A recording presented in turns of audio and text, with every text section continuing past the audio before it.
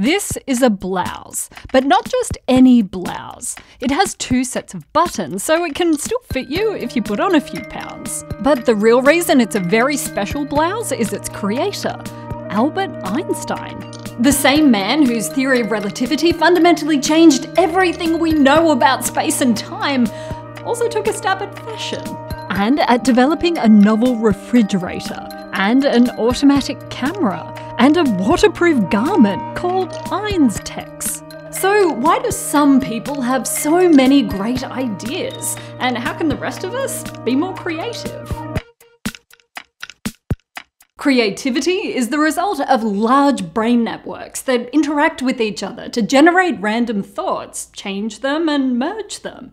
And this happens through three key mental skills bending, breaking, and blending. Bending is when we imagine things in new ways. Breaking is when we take an idea and break it into pieces. And blending is when we mix a few things together.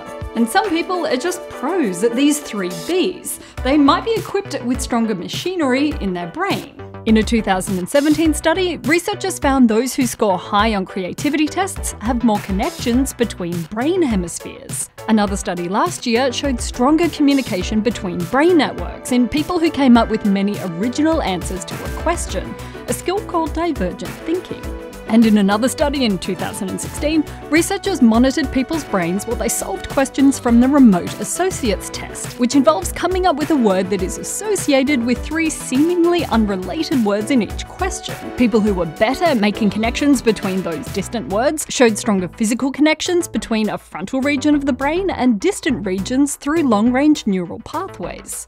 But remember, you're not stuck with the brain that you have. Your brain networks are flexible and you can practice creativity.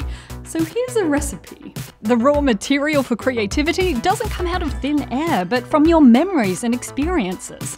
So read more, pay more attention, visit a museum, and travel to feed your imagination. Your first idea, or even your 10th, is almost guaranteed to fail. So keep generating ideas. When trying to solve a problem, experiment with getting too far out with your imagination and come back to the ground with fresh eyes and hopefully fresh ideas.